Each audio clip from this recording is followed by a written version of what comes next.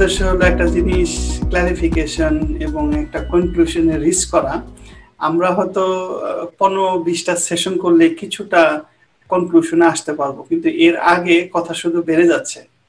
বেড়ে যাচ্ছে তার কারণটা হলো এর আগের দিন আমরা যে কথা কন্টিনিউ করতেছিলাম এপিস্টেমোলজি অথবা how do you know what you know তা সেটার ডিসকাশনে আমরা কিছু কিছু ফ্র্যাগমেন্ট টাচ করছিলাম। আমরা মনে হয় ফোকাস করছিলাম এক্সপিরিয়েন্স এর ইম্পর্টেন্স অথবা সেন্সরি এক্সপিরিয়েন্স এর ইম্পর্টেন্স ইন গেইনিং নলেজ তা আপনি আর আমি আমার মনে হয় যদিও দুজন দুই ফিল্ড থেকে আসছি আপনি প্রফেশনাল ফিলোসফার আমি হলো just general just general curious person কিন্তু আমাদের চিন্তা ভঙ্গিটা সোফার মিলছে যে এক্সপিরিয়েন্সটা হলো ফার্স্ট প্রিন্সিপাল সেখান থেকে বিল্ড করে আমরা রিজন এর পর্যন্ত আসতে পারি। এবং সিমেন্টিক মেমোরির সাথে আমাদের রিজনটা ইনডিরেক্টলি যে রিলেটেড সেটা অনেক সময় চোখে পড়ে না। আমি একটা এক্সাম্পল হিসেবে সেটা আলাপ করতে চাইছি। আচ্ছা আজকে আপনি ডিসকাশন শুরু করেন। আপনি আমার মনে হয় আমাদের ফোকাস ছিল আমাদের আজকের ডিসকাশনের বড় বড় হেডলাইন আমি জাস্ট চিন্তা করতেছি। একটা হলো ইনটুইশন এবং intuition as a source of knowledge এটার ভ্যালিডিটি আছে নাকি? যদি থেকে থাকে তাহলে আমরা কীভাবে ইস্টাবলিশ করতে পারি যে ইনটিউশনও is a good way to know এটা এক নম্বর।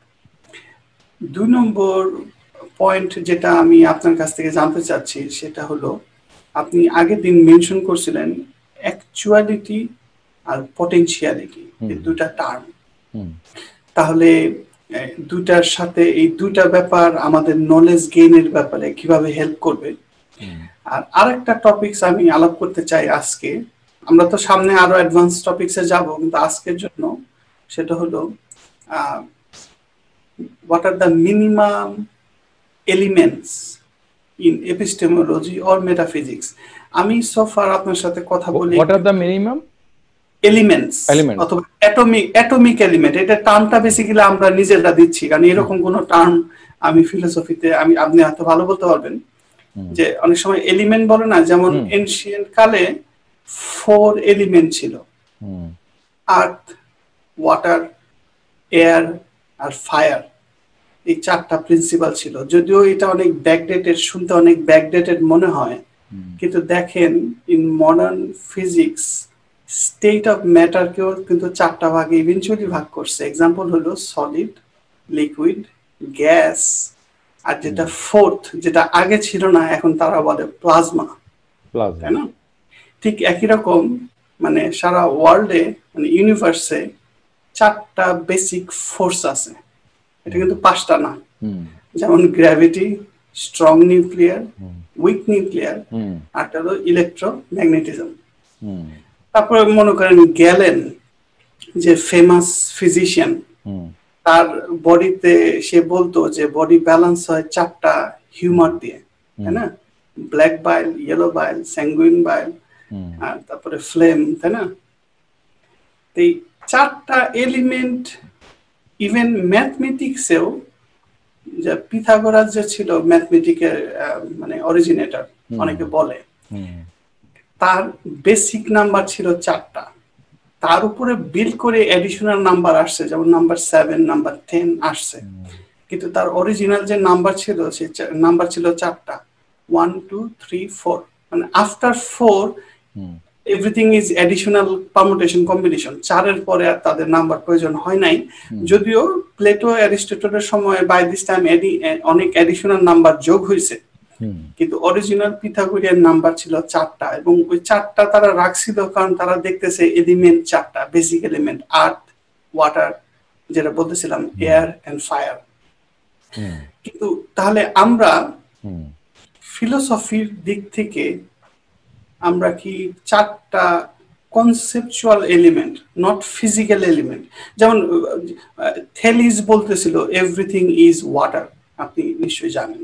তারপরে পারমেনিডিস বলতেছিল অন্য আরেকটা আর এক্সামেন্ডার বলতেছিল আরেকটা। মানে ultimately by the time Plato and Aristotle যখন আসছে তখন তারা ফিক্স করছে যে না এলিমেন্ট চারটা এভরিথিং ইজ ইনক্লুডেড যেমন earth water air and fire কিন্তু এর আগে এক এক ফিলোসফার এক একটাকে ডমিনেন্স দিয়ে বলতো এইটাই প্রাইমারি আচ্ছা আমরা ওইভাবে একটাকে প্রাইমারিতে না যে আমরা কনসেপচুয়ালি চারটা ফিলোসফিক্যাল এলিমেন্ট আনতে পারি কিনা জানা যারা অ্যাপারেন্টলি সফার আমাদের মনে হচ্ছে বেসিক এটা হলো আরেকটা টপিকস হবে। এই চারটা আপনার প্রস্তাবনায়? যেমন আপনার সাথে আলাপ করতেছিলাম একটা হলো মোশন একটা স্টিলনেস দুটা অ্যাপারেন্টলি আমরা ধরতেছি বেসিক তারপরে আরেকটা আনতেছিলাম যে মানে way to know the motion and stillness exist সেটা হলো এপিস্টেমোলজি আর আপনি ফোরটা অ্যাড করছেন, যেটা আমি অবভিয়াসলি সাথে সাথে অ্যাকসেপ্ট করছি যে yes that is also back of my mind সেটা হলো অবজারভার ইটসেলফ মানে কনসিয়াসনেস অথবা self awareness of the previous three মানে motion stillness knowledge and perceiver যে পারসেভ করতেছে এবং অ্যাওয়ার হচ্ছে এন্টায়ার সিচুয়েশন এখন আপনি একটু ডেভেলপ করেন এই আইডিয়াটা কতখানি ভ্যালিড মানে ফিলোসফিক্যালি কি একটা এলিমেন্টে এভরিথিং এক্সটেন্ড করা যায় নাকি তিন চারটা লাগে? না এই ডিপেন্ডস অন যে আপনি মানে কোন কনটেক্সট থেকে দেখছেন আর কি। মনে করেন একই বিষয়কে যখন আমরা এপিস্টেমোলজির দৃষ্টিতে দেখি, তখন এক ধরনের একই বিষয়কে যখন আমরা মেটাফিজিক্সের দৃষ্টিতে দেখি, তখন এক ধরনের। তো একই বিষয়কে যখন আমরা লজিকের দৃষ্টিতে দেখি, তখন ব্যাপারটা আরেক রকম হয়। যেমন আমরা, আমি মেটাফিজিক্সের কোর্সে ইদানিং রিয়ালিজম নিয়ে আলোচনা করছি নাম্বার এর অন্টোলজি নিয়ে। তো ওখানে রিয়েলিজম অ্যান্টি রিয়েলিজম কতগুলো ব্যাপার স্যাপার আছে। এখন আমরা যখন মেটাফিজিক্সে দেখি, তখন আমরা বলি যে রিয়েলিজম ভার্সাস আইডিয়ালিজম আবার আমরা যখন, এটা নিয়ে আপনার সাথে কথা হয়েছিল, আপনার যখন এপিস্টেমোলজিতে দেখি, তখন কোনো কিছু এক্সিস্ট করার জন্য সেটা সম্বন্ধে যে নোয়ার যে সাবজেক্ট অফ নলেজ তার জ্ঞান থাকাটা জরুরি কিনা এইটার ভিত্তিতে আমরা কিন্তু বলি যে এটা যে এপিস্টেমোলজিক্যাল একটা আইডিয়ালিজম আছে যেটার মানে কাউন্টার থিওরি হচ্ছে রিয়েলিজম আর যেটা মেটাফিজিক্যাল আইডিয়ালিজম সেটার কাউন্টার থিওরি আমরা বলেছিলাম যে মেটেরিয়ালিজম ওকে আবার আমরা যখন অন্টোলজিতে আসি, তখন আমরা দেখি যে রিয়েলিজমের বিকল্প তত্ত্ব কিন্তু আইডিয়ালিজম না, সেটা হচ্ছে অ্যান্টি রিয়েলিজম ওকে যেমন নাম্বারগুলো রিয়েলি মানে ইন্ডিপেন্ডেন্টলি এক্সিস্ট করে। এটা হচ্ছে যে মানে অন্টোলজিক্যাল রিয়েলিজম আবার আমাদের যে পার্টিকুলার যে নাম্বারগুলো, এই যে একটা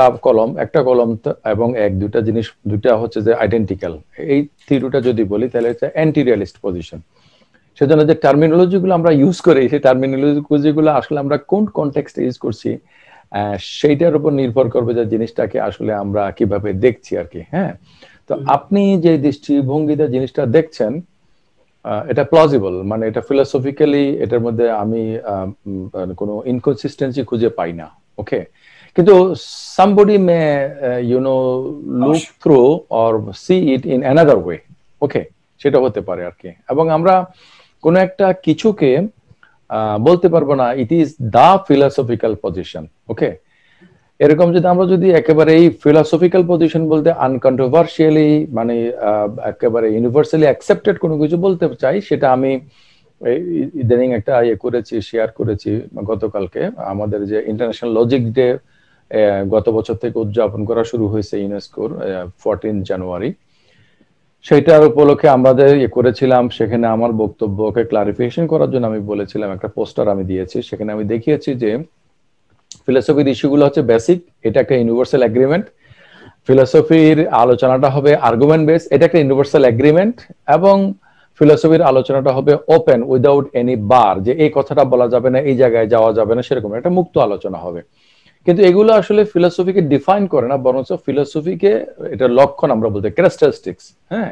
বা আমরা মেথড বলতে পারি অ্যাকচুয়ালি এই মেথডের মতো বিষয়গুলো ছাড়া ফিলোসফিতে কোনো কিছু কিন্তু ফিক্সড না আর কি হ্যাঁ? যে কোনো কিছুকে আপনি যে কোনো দিক থেকে ব্যাখ্যা করতে পারেন। যদি আপনি যদি ফ্রি ডিসকাশনটা করেন অ্যাবাউট সাম বেসিক ইস্যুস এবং on basis of argument for and against আর কি।